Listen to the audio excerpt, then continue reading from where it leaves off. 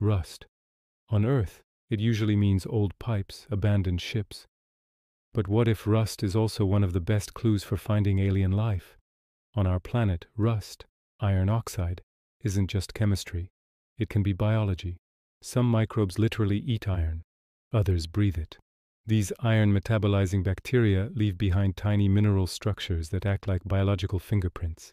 A new review from scientists in Germany argues that these microbial rust makers might be one of the most powerful biosignatures for exploring Mars and the icy moons of the outer solar system.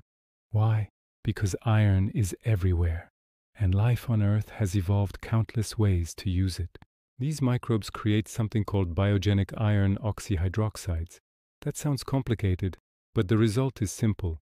They form twisted stalks, tubes, and filament networks as they oxidize iron. These structures become mineralized, and they can last billions of years in the rock record. Unlike fragile organic molecules that radiation destroys, these iron fossils survive harsh chemistry, extreme heat, and the passage of deep time. That makes them perfect targets for planetary missions. And the best place to look? Mars. The entire planet is covered in iron oxide, literal rust. Ancient Mars had liquid water, hydrothermal systems, and plenty of iron minerals. If iron metabolizing microbes ever lived there, the minerals they left behind might still be waiting in Martian sediments right now. But Mars isn't the only candidate.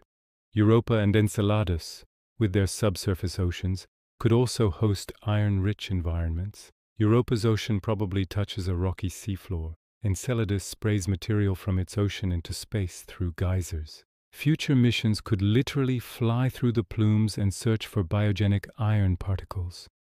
To make this work, spacecraft need instruments that can tell biological iron structures from geological ones, subtle textures, mineral forms, and chemical signatures. If we find them, it wouldn't just prove alien life exists. It would show that the same microbial chemistry thriving on Earth also operates on other worlds.